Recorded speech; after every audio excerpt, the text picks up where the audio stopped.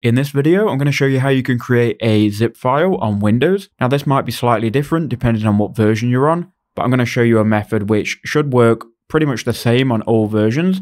Now what you want to do is first find the files you want to zip. I'm zipping here three different video files and a PDF. You can zip whatever file types and how many files as you like. Now you want to go ahead and find them and mine are all in a folder. Now there are two ways that you can do this. What I like to do is right click on the folder or the file location first, then we can go new. And if we hover over new, you can then see compressed zip folder. If you're on Windows 10, it may look slightly different, but you will be able to create a compressed zip folder. If you click on that, you can then give that a name. I'll just call it here files. And now if we open this folder, it will be empty. Now what we can do now is we can go ahead and select all of the files we want to zip then we can just simply drag them into the folder. Now it won't move them, it will just create copies of them. And you can see it's compressing these files now.